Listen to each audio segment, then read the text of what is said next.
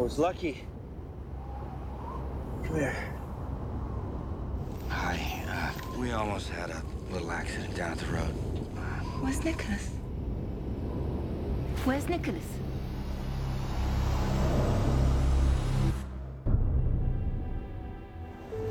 What's going on?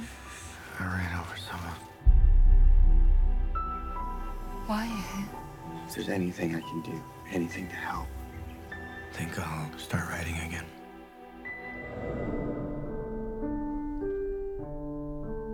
I like both of your books, but I think this one could be even better. You said you'd do something for us. There are things he needs to sort out. I'll talk to him whenever he wants to. There's a chapter in where this man carries a boy on his shoulders. Is that me? No one hurt me the way you did. I watched you helping that woman. You were so calm. Pull her up. Is there nothing I can get to you?